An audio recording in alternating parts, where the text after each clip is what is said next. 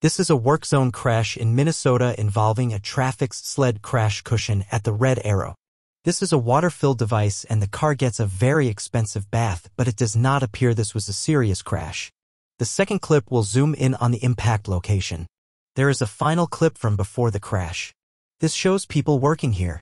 When you are driving in a work zone, remember somebody's loved one is working here. Slow down and pay attention. This video was captured by SafetyVid on a Minnesota DOT camera. Commentary is provided by the Guardrail Guy. Please like and subscribe for similar crashes and commentary.